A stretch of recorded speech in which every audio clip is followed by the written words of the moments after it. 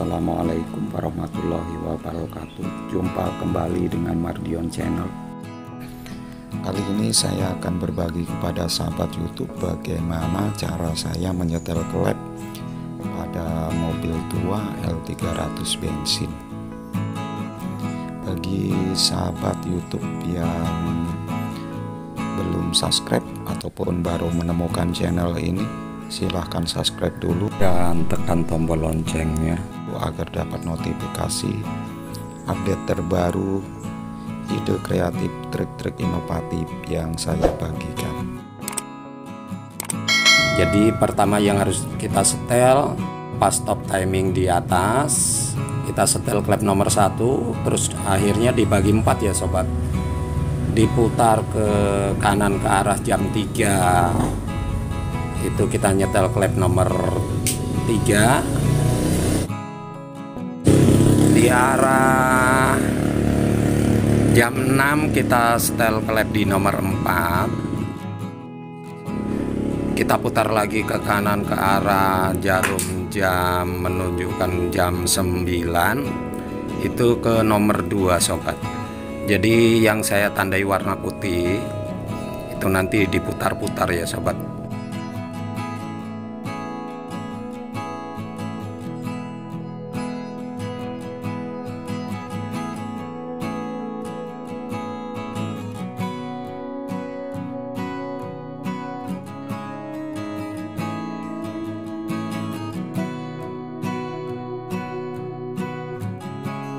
kita putar dari kruk asnya kita putar ke kanan.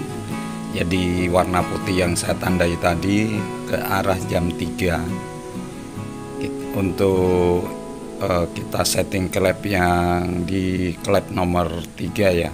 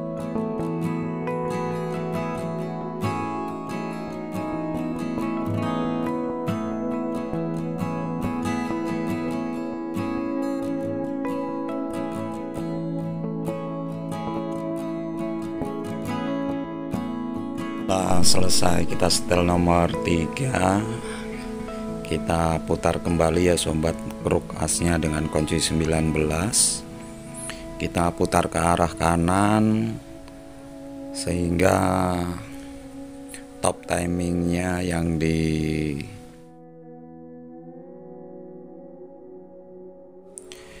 di noken asnya mengarah ke jam 6 ya untuk kita menyetel ataupun men-setting klep nomor 4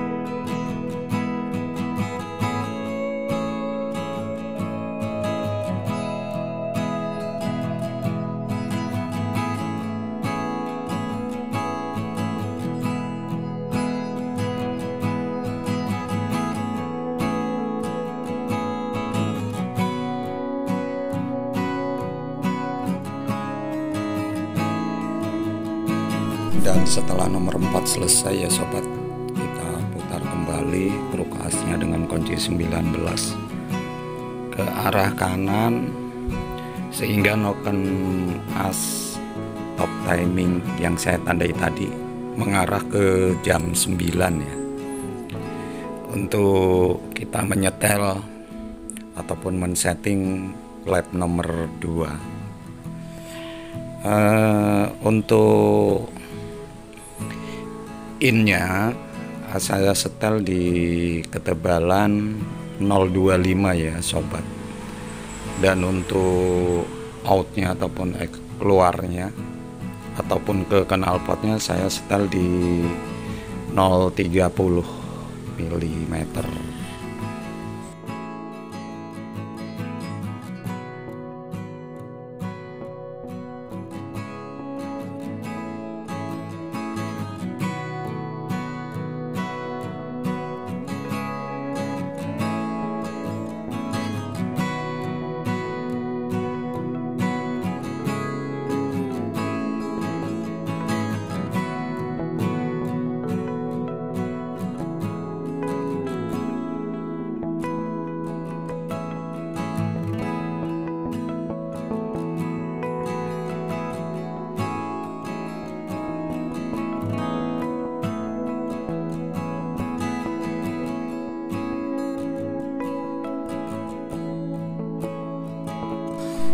setelah penyetelan selesai ya sobat. Kita kembalikan.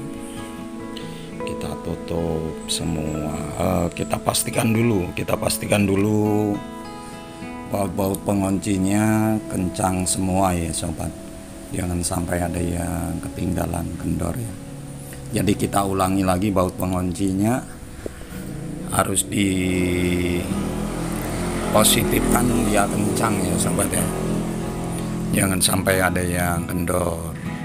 Nah setelah itu kita tutup semua kita kembalikan seperti semula. Dan kita coba hidupkan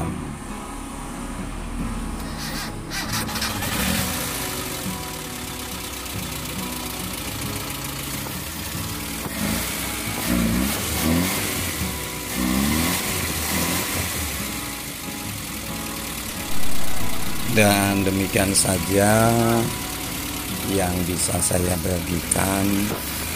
Mudah-mudahan bisa membawa manfaat. Tinggal sisi buruknya ambil sisi baiknya saja. Lebih kurangnya saya mohon maaf. Wassalamualaikum warahmatullahi wabarakatuh